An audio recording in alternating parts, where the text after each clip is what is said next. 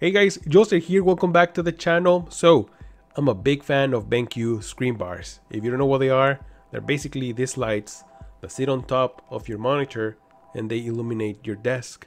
Now what I like about them is that they don't take any space from your desk, they don't cause any glare on your monitor screen, and they fit every monitor, even curved monitors. And I literally have all screen bar models from BenQ. Now the original screen bar comes in black and it has a touch sensitive buttons on top of the bar which controls everything from power, brightness, color temperature. Then the Screen Bar Plus came after that which includes a dial for an easier access to the light controls.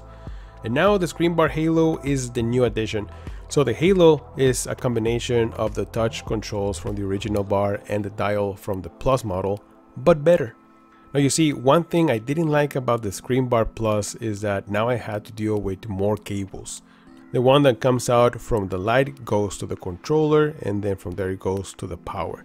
Now yes, it's cool that it's closer to my reach, but honestly I don't like dealing with more cables. Now with the new Halo bar, they combine the best of the OG Screen Bar and the Plus model. The dial is now wireless, so I don't have to mess with cables anymore. It uses three AAA batteries, which are included, and it connects instantly to the light bar. It is also touch sensitive so it's easy to use. There's a sensor that detects movement when you're hovering your finger and it activates the controller. And from there you can adjust brightness, color temperature or save a profile of your preference. Now in addition, there is an ambient light for behind the monitor which you can turn on by tapping the sensor. You can have the ambient light on, tap it again and then you have both lights on and then you tap it again and you have just the main light on. I really like this new addition to the screen bar. Another thing I noticed is that now it's a bit bigger than previous lights. The new Halo bar measures around 19 and a half inches, while the previous bars measured around 17 and 3 quarters, almost 18 inches. So yes, it's around an inch and a half bigger, so just take that in consideration. I have them sitting on 32 inch monitors and they both fit fine, but if you have a 27 inch monitor plus a webcam, maybe you won't have enough space with the new Halo bar. They also include an attachment for curved monitors. Basically, it adds about half inch of space so the light bar won't sit too close to the screen.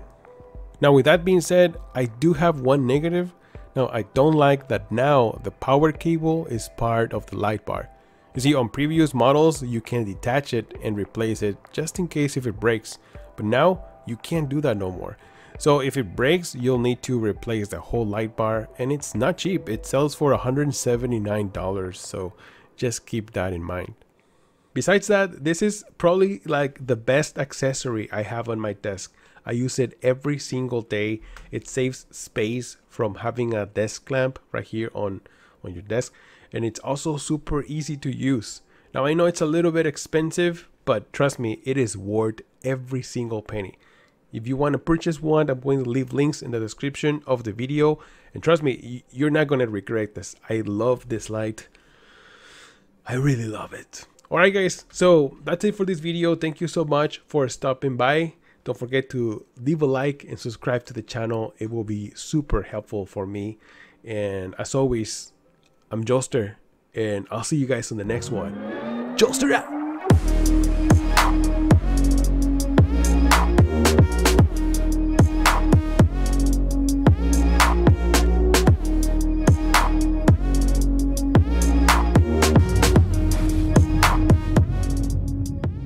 Smash that like button, smash it, smash it.